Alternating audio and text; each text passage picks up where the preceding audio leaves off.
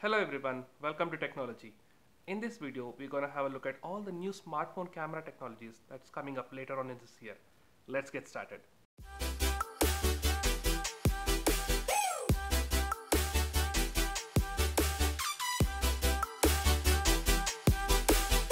Mobile World Congress that happens in Barcelona during this time of the year is a place where we get to see all the new technologies and innovations around the smartphone industry. Though this year a lot of emphasis was on the display aspect of the mobile phones, there was considerable amount of innovation that happened in the cameras also.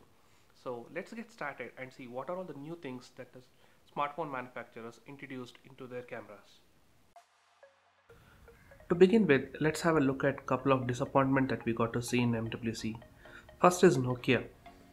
Though this was a comeback year for Nokia, we didn't get to see any groundbreaking stuff, especially with regard to the camera. Nokia did release Nokia 3 and Nokia 5, which are more of like an entry level or a mid level smartphone rather than a flagship.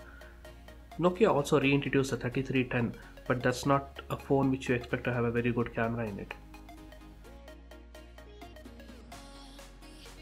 Next up was the Motorola 5 and G5 Plus that they introduced in MWC this year. There was nothing new when it comes to either the features or the autofocus. So even from the Motorola side, it was a pretty much a dull presentation. Now let's move on to see which are the phones which actually made the headlines in MWC this year.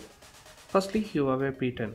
The Huawei P10 is equipped with dual camera, one a 20 megapixel monochrome sensor and another a 12 megapixel RGB sensor, both with f2.2 aperture and phase detect autofocus.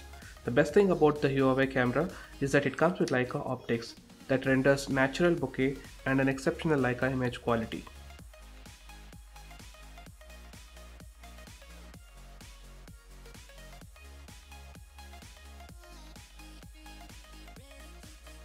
Huawei also promises very good black and white images thanks to its dedicated monochrome sensor in the smartphone. Next up is the Sony.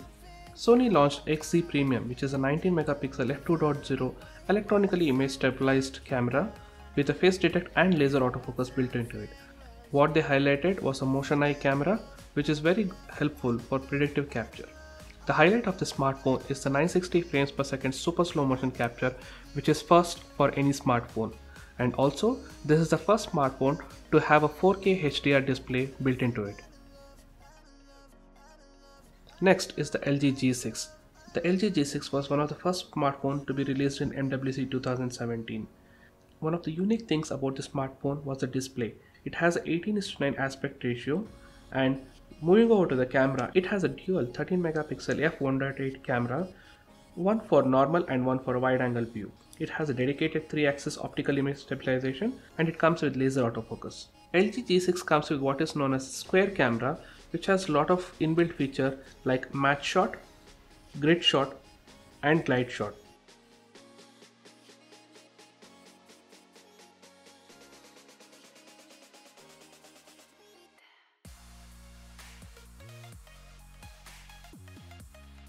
Inarguably, the highlight feature of the G6 has to be the wide angle field of view, option available both in the rear as well as the front camera.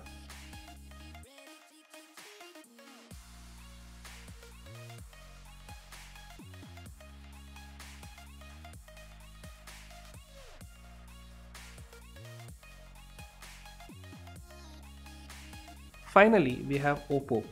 Oppo released a concept smartphone which has something called as dual camera zoom. The dual camera zoom comes with a 5x zoom and this is achieved by using a periscope style camera sensor arrangement. Oppo claims that even at 5x zoom, the users can get exceptional image quality.